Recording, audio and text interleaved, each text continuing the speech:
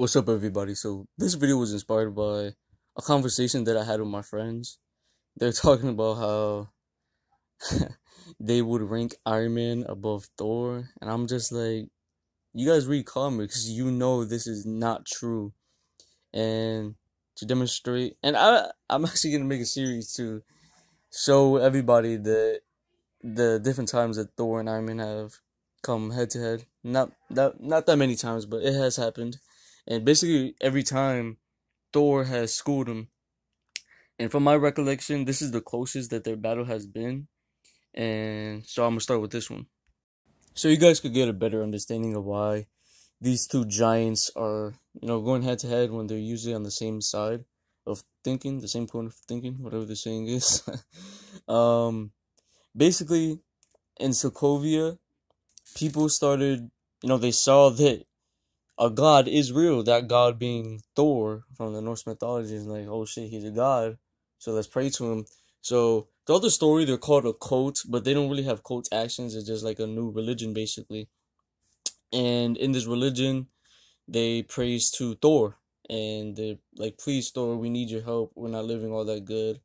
And Heimdall, he sees all, hears all, um, throughout the universe he hears their cries for Thor all the time from multiple people.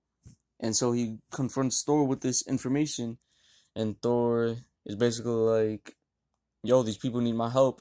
And at this time, he is sitting on the throne of Asgard. But even before that, when he was a young child, probably not a child, but way younger, like thousands of years ago, um, his father gave him the title of Protector of Earth. And so he's like, you know what? I gotta go protect the people that I was, you know, given the the jurisdiction over to protect them. That's my duty. So he goes down and he starts fighting the Sokovian army because basically what happens in our own history, they start believing in different religion. Authorities don't the high authorities don't like that and basically they start killing them off Yes, their own army is killing them off because they believe Thor is the god. You know, the god is standing right in front of them all the time. And so Thor sends his soldiers down to fight them. Only four of them, really. That yes, that's how strong the Asgardians are, and they're easily taking care of these Sokovian soldiers. Thor, you know, being a god, he starts ruling over these people, but it's not like in a like he's a tyrant in any tyranny way. He's just ruling for their benefits basically. He's helping them out and stuff like that so that they won't really have to go through all these troubles. But the US government they don't want it to get to Thor's head and him possibly start ruling over the whole world. So what they do is contact Iron Man, one of his allies that's powerful enough, but they could actually control, unlike the Hulk to confront him, and he does. Real quick, I gotta talk about Doctor Doom too, because he does make a few small appearances in the storyline due to Sokovia being right close to his kingdom, that being Latveria, and he contacts Iron Man. He's basically saying, if you don't handle it, then I'm going to handle it, and you don't, you won't like it if I handle it. And yes, I guess that is kind of true but really he's just here to antagonize the fight and it's basically like the dude in the school fight who's like, "Yo, he's talking shit about your mom or smack like some shit like that." He's just making them more mad and want to fight each other even more.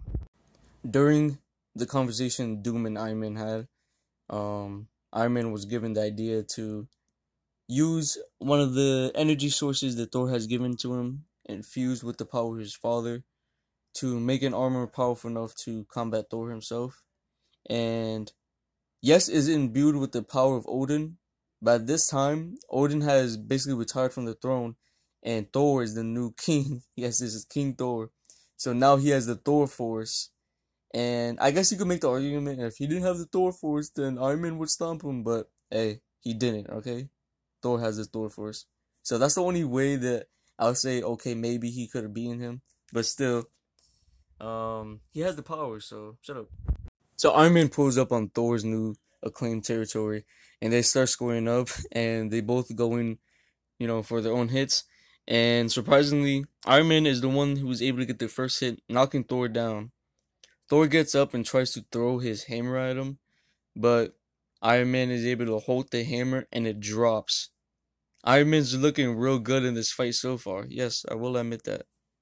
Thor just says screw the hammer and just hits hit Iron Man in the face with his bare hands and tossing him back.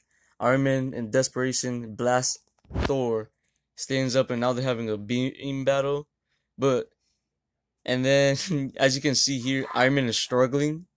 But Iron Man's able to absorb Thor's blast, so he's like, you know what? Let me just fly through his beam and try to tackle him.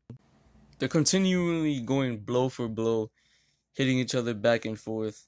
When Thor just slams Iron Man on, through the ground, not even on it, just through it.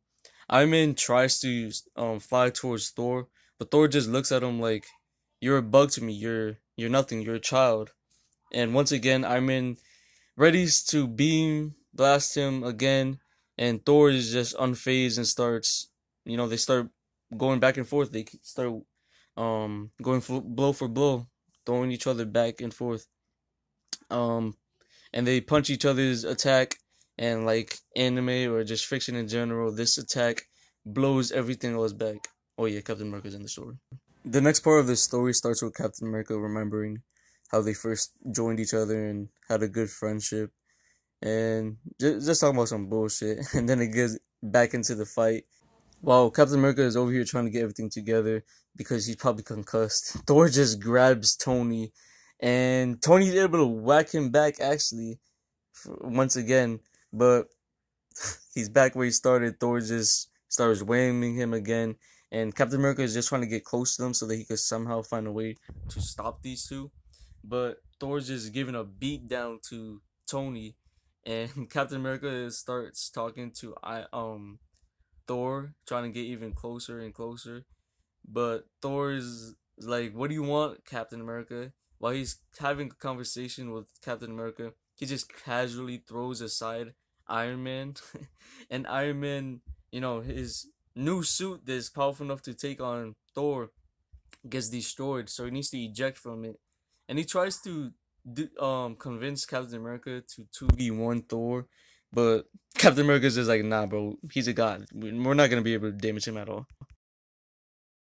And then Doom, as persistent as ever, he's trying to basically cause a war and keep the Avengers separated so that they wouldn't be united to take him on. Even though solo they could do that, but he's just trying to cause interference into his plans. So he hacks into one of the military's cannons and he shoots the heroes, but the two mortals are the only ones going flying back.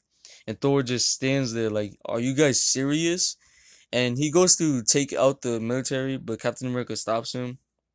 And Thor just yeets his shit across the battlefield. And at this moment is when Thor actually realizes what he's doing is wrong. After he dents Captain America's shield and leaves him with a bloody nose he's like, "Oh shit, I'm sorry." Captain America is like, "Damn, bro, you're really gonna go this far and try to kill your friends?" And because it, it, you know, Thor's brain cells connect. He, he comes to his senses and he, you know, fixes Thor's shield. I mean, Captain America's shield for him by hammering it back together. Overall, this was a good story, and I do think that, you know, that these are valid reasons on why they would fight each other and it's kind of in sync with their characters, who they are. They didn't really go off. Um, I think they just wanted to make it interesting, have them battle each other. And as you can see, Thor just ultimately destroyed Iron Man. Now, but on all seriousness, Iron Man did put up a good fight, and really, yeah, if it wasn't for Captain America, Iron Man would probably be dead because he was angry enough to dent his shield.